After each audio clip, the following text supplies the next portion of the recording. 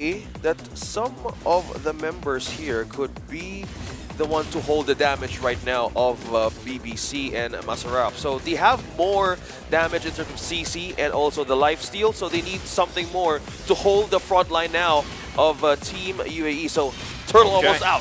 Masarap gonna jump in with the penalty zone locked by the BBC, and they get the kill right there. Bulex will fall. What a combination, right? BBC with the setup there, Masarap jumping in too. I can see that uh, synergy is obviously there. Masarap, master up talaga with a flicker. It's Oh. not yet done. Jed Wow.